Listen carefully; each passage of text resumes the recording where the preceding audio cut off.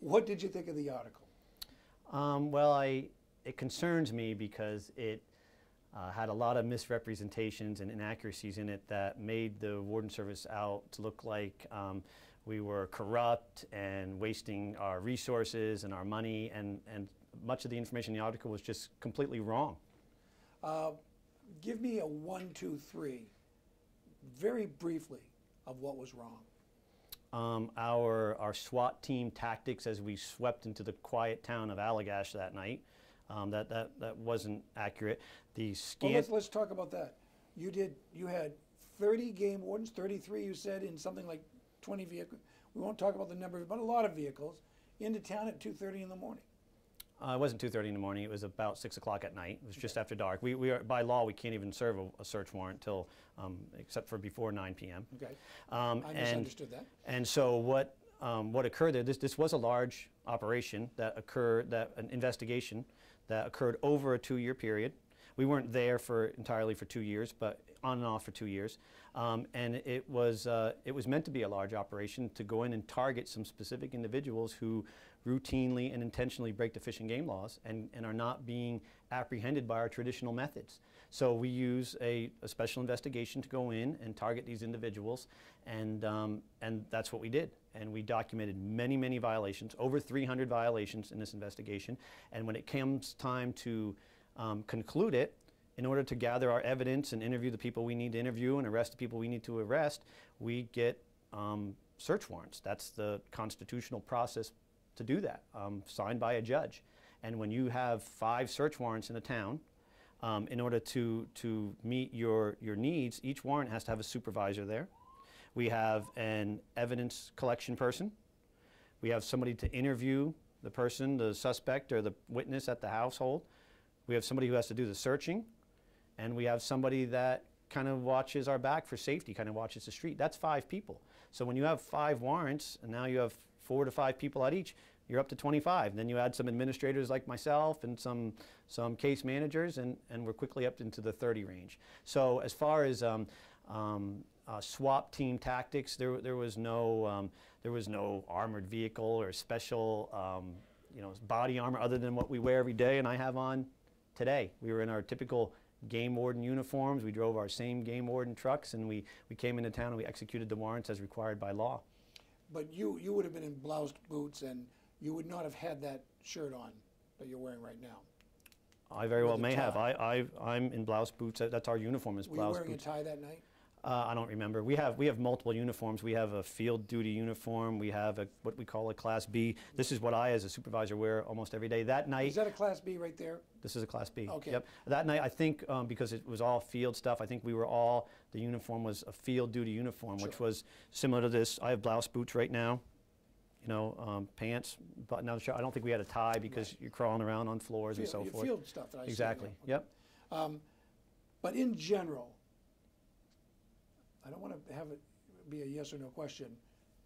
You think you're unfairly characterized. You think you're unfairly characterized. How? uh, because they said we, we, s- you know, they made it sound like we swept into town like some big uh, tactical military operation, and then the next line was for a, a scanty results that we, we really didn't get anything out of it. A couple minor happy with fish and game violations. I'm, I'm very happy with the results. Absolutely. We, You uh, said this was a great piece of game warden. I'd say, say that again because This was, this was an outstanding piece of, of on the ground game warden work. Uh, everything came together. We worked with our partners with uh, the district attorney's office in Aroostook County, uh, with the state police. Uh, we went through all the normal processes that we needed to in order to uh, identify some intentional, um, long-term fish and game violators who continue to do so by their own statements and their own actions. Um, we went in, we documented our evidence, we, we um, apprehended them, we charged them. We worked with the district attorney's office. Uh, they had, some of them had a, um, a jury of their peers, went to Superior Court. They were found guilty of that, and they then appealed it to the Maine Supreme Court, and the Maine Supreme Court affirmed all the convictions seven to zero.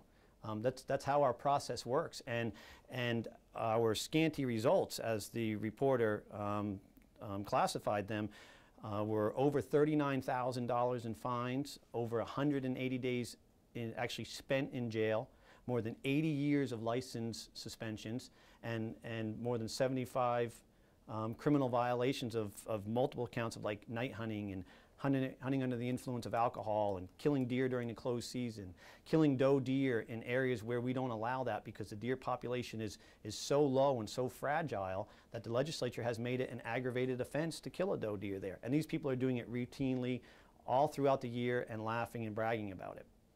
Let's talk a little bit about that. There's, uh, and you'll know the phrase better than me, but uh, you know that you have to prove a, a predisposition towards committing the crime or something like that. The suspect does. Well, what, Are you satisfied that you were able to successfully uh, prove that predisposition?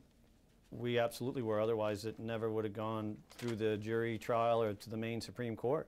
Um, we, we don't even allow, through our review process, we don't even allow most of these cases to um, be initiated unless we have predisposition. That's how we, our initial investigation shows that people are predisposed to commit um, game laws. And we found that in this instance um, by the, their criminal history. Some of these suspects had been caught back in 2008 for illegally killing a moose and, at nighttime and leaving it. Um, they were charged and convicted of that. And when we um, encountered them, in this case, they were still hunting and their licenses were still under revocation. Um, so that shows you that they're not new to it. Um, we then gather up all the complaints that we get from the local citizens in town and the local game wardens and, and the chatter around town about, yeah, this is ongoing. They laugh about it. It's a lifestyle. It's a way of life. They even said in the article, it's a, it's a hit against our way of life, driving around, drinking a couple 12 packs of beer and, and shooting things. Um, so that shows that it's ongoing. And then once our warden gets there and begins to interact with these folks, they brag about it and in short time take him out. That's, that's predisposition defined. What did the people of Allagash call a, a deer that was taken early in the year? Uh, in this particular case, one of them um, referred to it as an early bird special. Um, they actually were, were What's feed- that? um, they were feeding um, a, a doe deer to our game warden and called it an early bird special. And it was a doe that it was specifically a 140 pound doe that one of the suspects had, had killed during the closed season and basically camp meat, as people sometimes call it. And, uh, and again, uh, it's, it's an illegal antlerless deer in an area where you can't kill antlerless deer. It was killed in the closed season, so those are two Class D crimes, but yet it was portrayed in the article to be undocumented deer meat and some onions that they were eating. I would say a, a deer that was killed in, in, with two minimum mandatory fines of $1,000 and three days in jail each is more than undocumented deer meat. And, and, and the, the article was, was rife with those misrepresentations.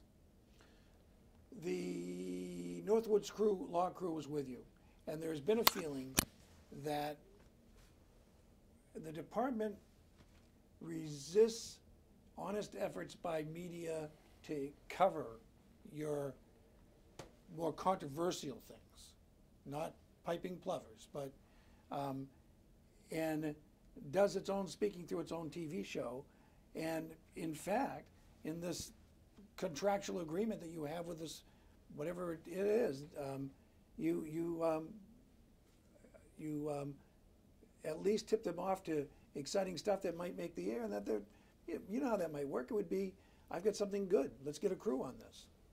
Um, I, I disagree with some of that because uh, I um, supervise out of the Bangor office, and we have three major mainstream media outlets there that I regularly communicate with, regularly involve them in, in our bigger case, our searches and rescues, our, our nuisance animal, our, our criminal. Um, we, we give them press releases on, on um, items such as these takedowns. Um, in this instance, um, the Northwoods Law Crew happened to be with one of the game wardens that was coming up on the detail. Um, there was never any um, involvement with them in the pre-preparation or the post-case follow-up, both of which are extensive. Um, we actually gave them very strict instructions because um, we, we were concerned about just this, about our tactics getting out. Um, they sent one camera crew up and they, um, um, they shot what they typically would from the roadway, just some really kind of uh, uninteresting footage about guys coming in and out of house and, and interviewed the typical wardens that, that they were with. As far as the department using them to mess, send out our message, um, sure we do that. It's a, it's a very, very successful nationally syndicated um, program that has gotten higher reviews than, than anyone else you see on, on cable TV. Um, our goals was to message um, to our youth and to our general public to have a better understanding what the department does, and I think we were successful with that. Um, but by no means do I think that we exclude the regular mainstream media. We actually have a, um, in my opinion, a very good relationship with mainstream media. The governor said that the show doesn't portray Maine in a very good light and that he had a, um, a big role in getting it canceled. You'll have to ask the governor about that. I, don't, I, I can't really make comments on his opinion. Um, the, why is the show being canceled? I, I, I think uh, the show already has been. I mean, I, Right. there's no more shooting, but uh, it's, it's off the air now. Um, the There's one more cycle, or what I would call a series of new shows that'll go. right, but as July, far as the August. shooting, They're all shot, that's right. yeah. Right, exactly.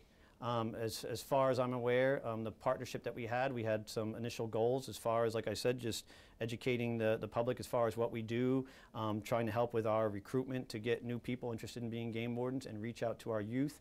And I think um, we were not only successful with that, but more successful than we really ever imagined we would be. And um, it kind of ran its course, and we wanted to go out on top and have people more so miss what they don't have anymore than kind of let us fall by the wayside and forget what we were about.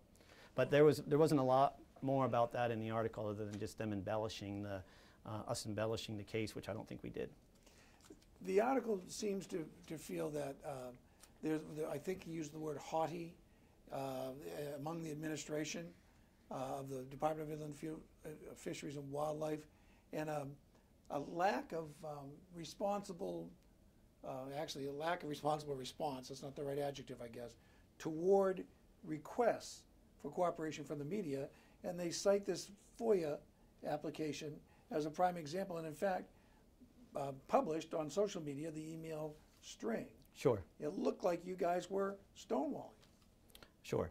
Um, what I can uh, offer about the FOIA process, the, the Freedom of, of Access Act, is um, our staff, our department is regularly FOIA'd by, by many outlets, whether it's uh, individual reporters, whether it's people wanting accident reports or case reports or anything.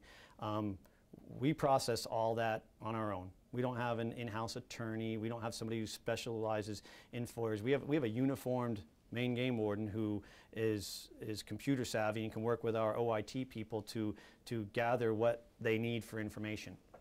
Um, like it or not, the Maine Warden Service sends and receives thousands and thousands of emails over the course of, of months and months. We've, we've, just like everybody else, we're tied into the digital media world today.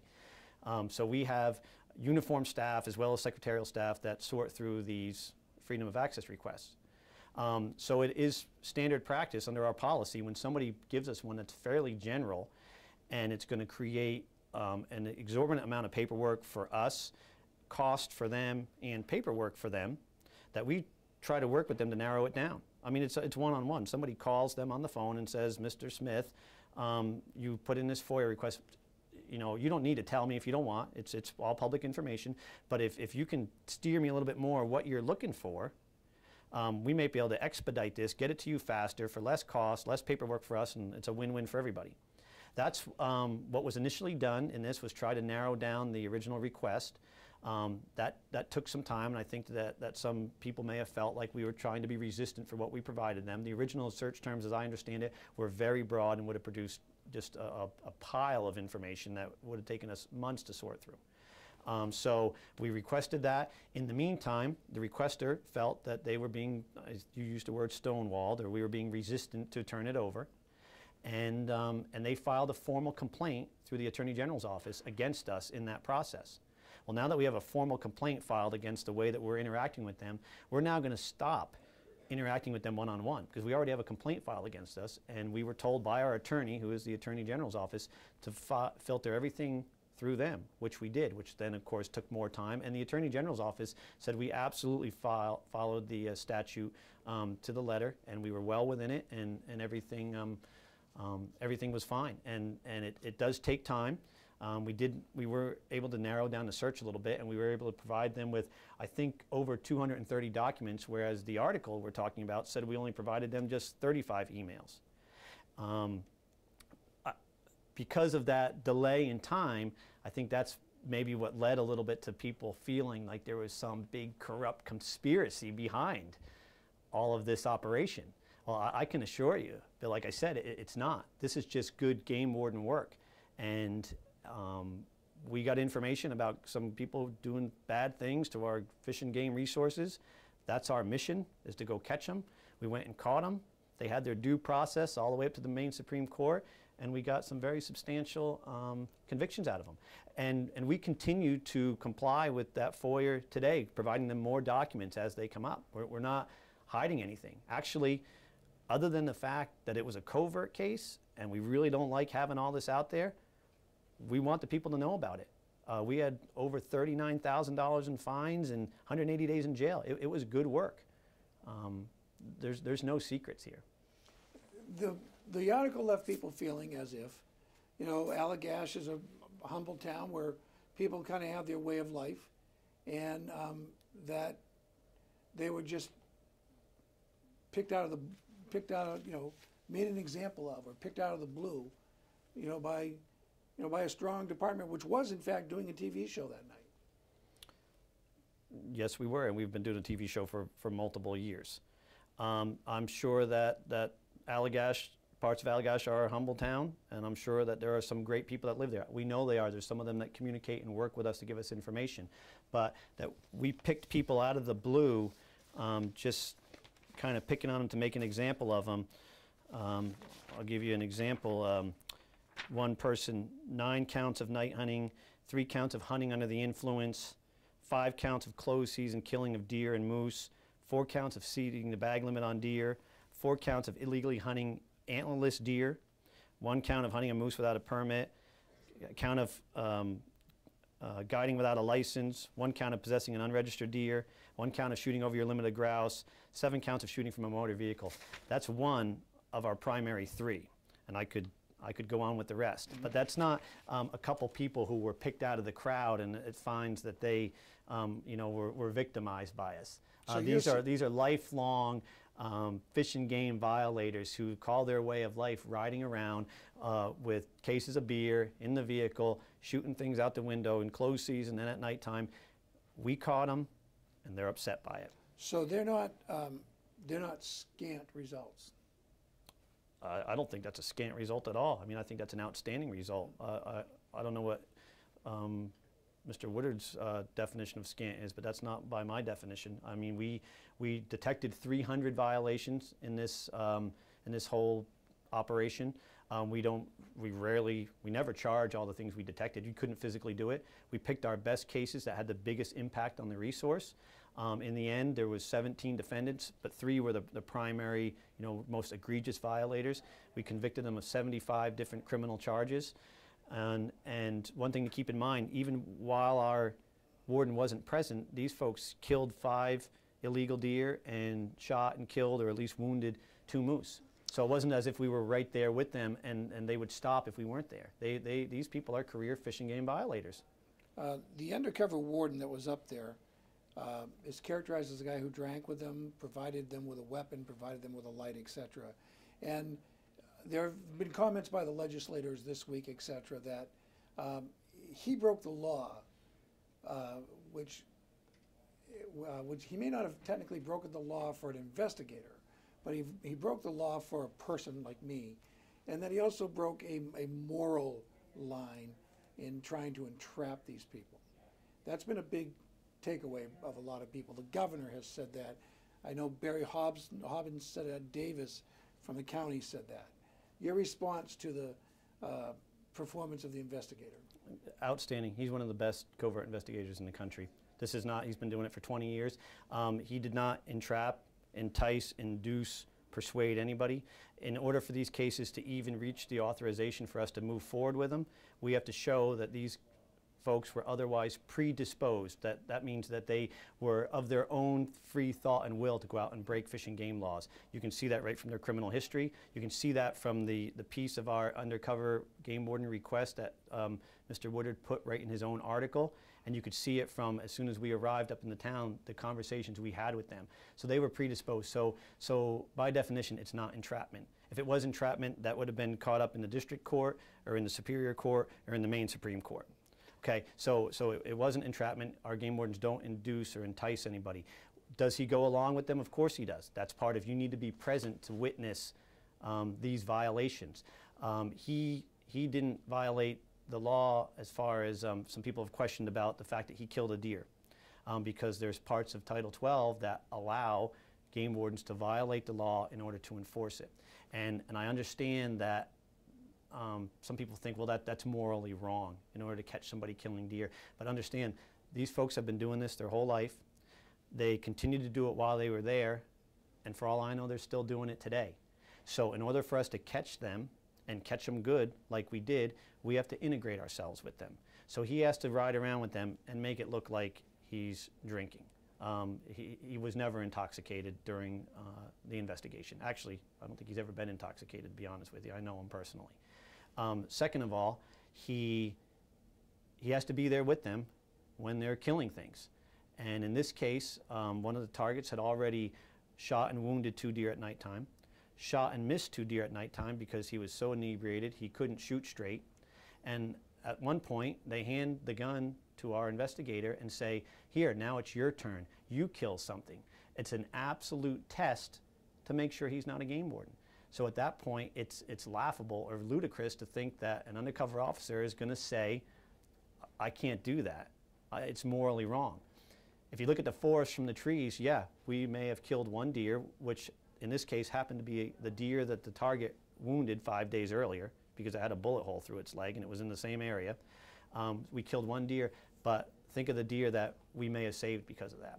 Um, it, it, would, it would end the investigation and, and cause our officer undue safety concerns to think that he's going to say, I'm not going to uh, uh, I'm not going to uh, involve myself in the hunting. That's why we're there with him. One other piece I'll add, um, that was the one instance where he did kill a deer after many, many, many nights of hunting with them. On another occasion, the target tried to get um, him and, and, the target together to kill a cow and a calf moose, and he was able to, to scare the moose away so that that didn't occur. And on the third occasion, the target um, was going to kill a thread, uh, federally threatened lynx that was in the road, and because our warden was the one who was operating the vehicle and was of sound mind, was able to scoot the lynx out of the road prior to it being shot. So yeah, we, we often drive the vehicle and, uh, and we want to be in control of the situation because some of these folks aren't in the, in the frame of mind where they, they should be in control of the situation. Um, the peaches, was it peaches? It looked like you were trying to confiscate meat and you went to that lady's house and took canned goods or something. Yes, sir. Uh, I'm guessing what you were trying to confiscate, but I'm assuming that's why you were there. And she's saying she didn't get her stuff back, and why they, you know, they, she was scared. There was uh, lasers, there were laser uh, sights pointed at her in the article. That's what it said. Didn't make it up. I, I understand it. That's uh, why. That's why we're here. Back. Where's that's, her stuff? Um, what happened there? Several, several. You, you've posed several questions to me. I posed we'll take, one. We'll take them all one at a time. What, what, okay. what went on with the beaches? First of all, um, that was um, that was Miss Kelly's residence. Uh, the article alluded that we went there with eight or ten game wardens, and she thought maybe she was being robbed, and she didn't know we were wardens. Okay, uh, we went there with one game warden supervisor, and three and three district game wardens. So four people went to her house, just like all the other warrants I described.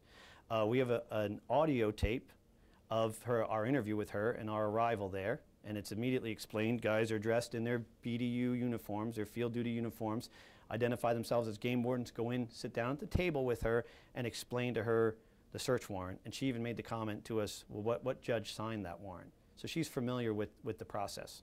Okay, so, so the eight or 10 wardens storming her house and her thinking she's being robbed um, is, is a, a, another complete fallacy. Okay?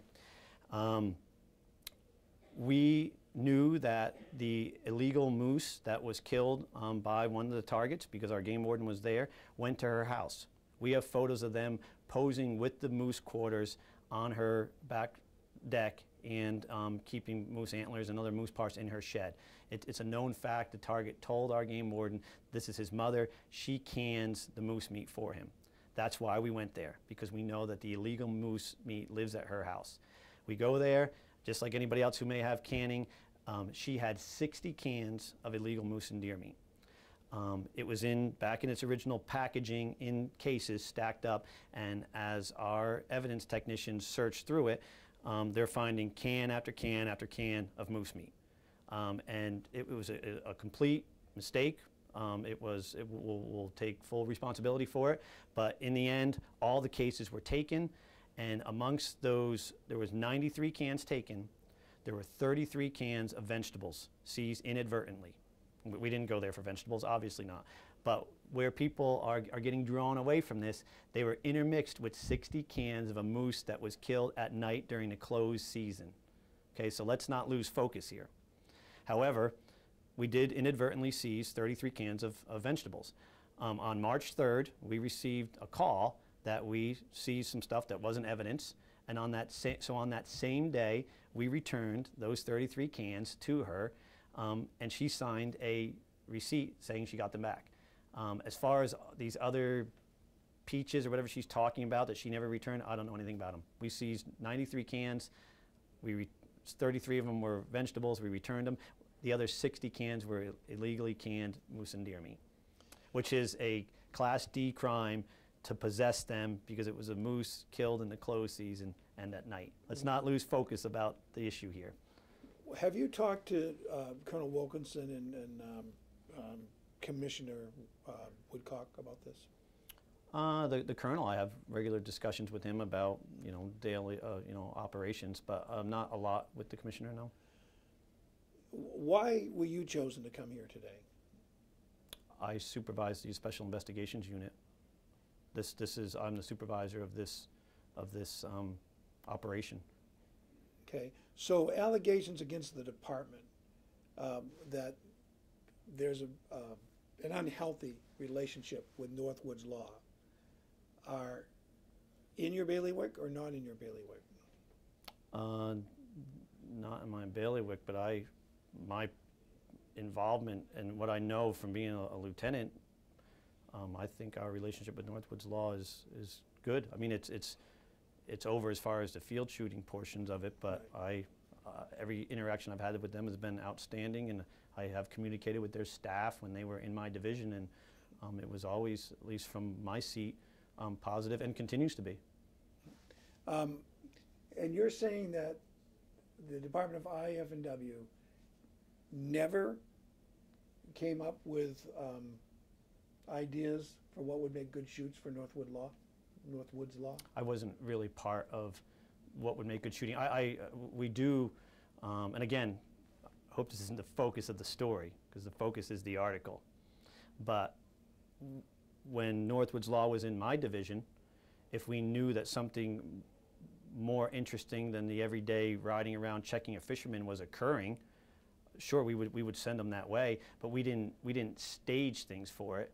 Um, if, if a game warden happened to have Northwoods Law there, and the in the next section over um, was was going on a drowning or a search, we'd say, hey, come over to the drowning or the search. It's more interesting than riding around seeing if anything's going on today. But it wasn't staged, so to speak. No. Uh, I just want to give you a chance to say anything you want to say, because we've talked a lot, and sometimes in the, when I finally get around to asking the questions, I don't ask Sure. exactly.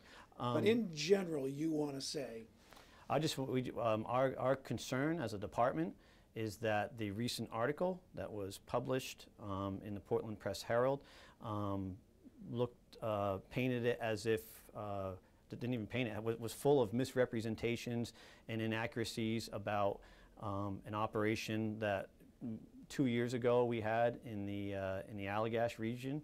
Um, it, it misled the public to think that we have a, a corrupt investigative warden that, that worked that case, um, where none of that can be further from the truth. The article is, is rife with inaccuracies that we can, um, we can um, um, show that um, they're, they're untrue. And I believe that the Bureau will be coming out, if they haven't already, with a, uh, a document that contests many of those, as I have here today. Um, and really, that operation was um, what I would describe as a, a great piece of, of game warden work. I mean, we, we worked with the public and um, with our local wardens to identify serious fish and game violators. That's our mission to try to catch them. Um, when traditional means was not working for us, um, we put an untraditional means in there. Um, we put a, a covert game warden in there, and he immediately affirmed what we knew was going on, or we had information that was going on. Um, he, he caught the three main targets and, and subsequently some of their associates. Uh, they all had their day in court, right up through a, uh, found guilty by a jury of their peers, and then appealed it to the Maine Supreme Court that affirmed our actions and our work and all the convictions. Um, and I really think that any article portraying that um, should have been uh, should have been much more about the positive aspects. That's that's why we're here. And instead, it was full of misrepresentations. And really, um, what what most upsets us is. Uh, is this investigative reporter, whatever his motivations were, whatever his issue is with the Bureau, um, took it upon himself to, to try to slander us, one of our staff members, as well as took what he knew to be an undercover police officer's face, whether you agree with what we do or not, or whether a mission is or not, and posted it all over social media and on a major uh, media outlet and said, This guy is an undercover game warden without knowing if he was still working, working that day. Um, that came out last Sunday. Uh, our investigator may have been in with the next group of bad guys when that posted. And, uh, and we think that that totality, that's irresponsible reporting and it's completely inaccurate.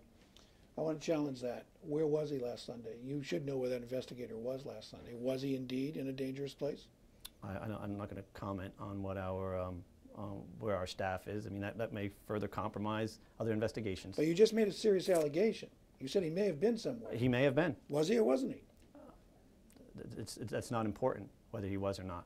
The fact is, he is a sworn state law enforcement officer who the reporter knew was an undercover person. His identity is the most important thing to him, Bill. And this reporter, in order to try to to show that he thinks that there's some big conspiracy over the fact he was he thought it would took too long to get some emails, um, put his face out all over social media and the paper that puts our staff in danger.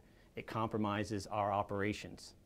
And just like he doesn't know where he was last Sunday, I'm not going to tell this media outlet where our investigators were last Sunday. It's, it's, it's not important. That's, if, if we told people where we were every day, we wouldn't be effective as game wardens. Not knowing where we are is what makes people comply with the law much of the time. Okay, so again, let's, let's keep the focus on where it is. The focus isn't on where the investigator was last Sunday. It's that somebody knew somebody was an undercover police officer whose identity is clearly the most important thing for him, his most important tool, and he blasted it all over the place without, without any thought of what the, the outcome of that may be. These, these aren't everyday violators, guys fishing without licenses uh, that we're dealing with. I mean, these, these, some of these people are violent criminals. Our staff, uh, undercover staff, has had their lives threatened before. We've had to have put watches on their homes um, after these cases have come down. Okay, so, um, so his, his tactic of, of outing this, I think, was um, um, inappropriate reporting, let alone the fact it's full of misrepresentations and inaccuracies.